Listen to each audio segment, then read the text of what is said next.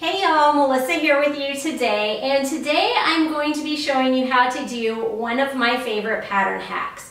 Now, pattern hack is when you take an existing pattern and you modify it in some way. In this case, I'm going to show you how to add a ruffle.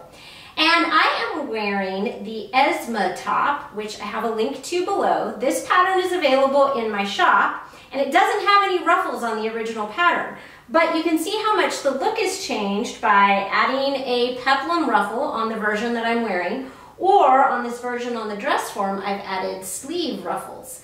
So this same technique is used to do the sleeves or the peplum. It's just a matter of attaching a ruffle to a different place on the pattern. And I'm going to show you how to do that.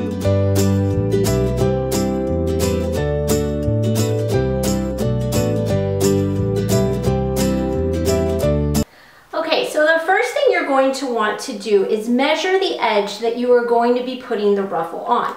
So in this case, since I'm doing a sleeve ruffle, I want to measure the sleeve edge. You can do this on your fabric once you've sewn the shoulder seam, or you can mark off the seam allowances on your pattern and measure in advance.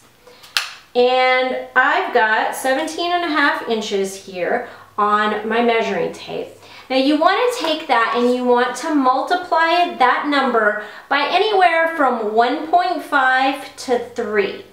So with my particular ruffle here, what I've done is I have multiplied it times 1.75. So you can see that's going to be longer than that. The more, the bigger number that you multiply by, the more ruffled your ruffle is going to be. And then it's up to you to decide how deep you want your ruffle to be. Um, my finished ruffle here, after I take the half inch seam allowance off the top, is going to be about four and a half inches, four and five eighths inches long. And that's because I've already hemmed it, which that is your next step. I have done a rolled hem on the bottom edge of my ruffle piece.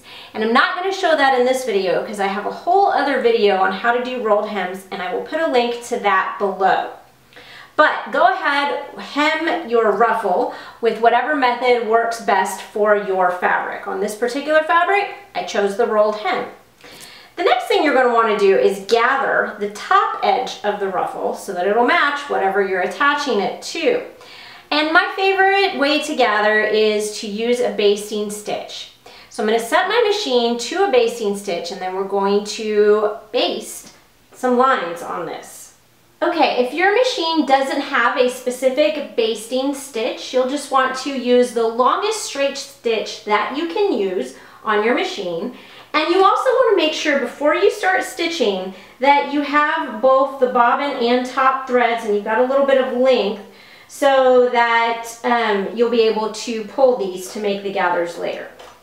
I like to start with my needle in the center position and then I like to stitch down and turn around.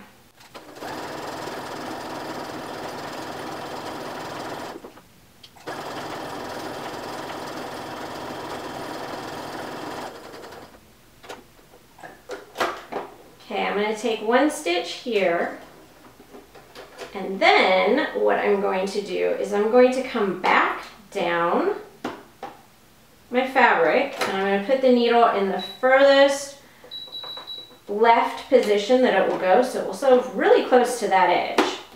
By turning and leaving that one stitch on the end, this means that my gathering stitches won't pull out on that end, which is sometimes a risk, especially with looser woven fabric like I'm using here, that you'll just pull your basting thread all the way through and then it just all comes out.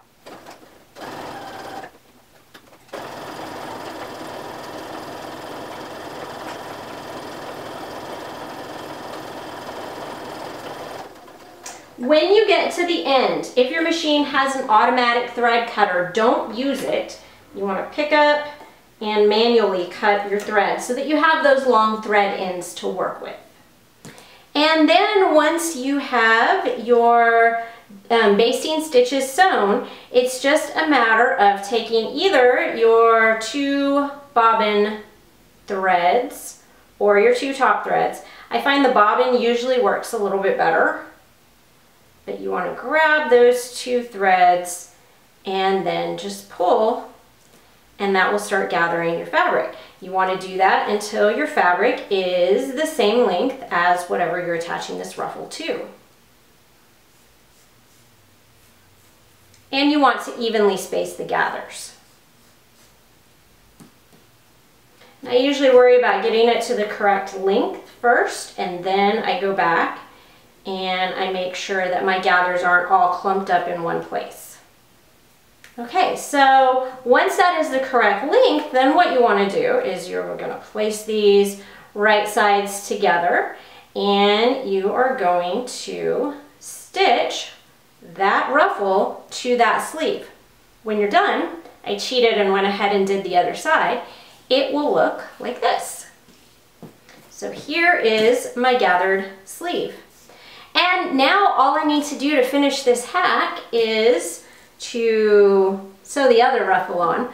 But once they're both sewn on, what I will do is go ahead and stitch here, come across the seam allowance, and then stitch down. I will clip into that corner once I've stitched it to allow for more movement.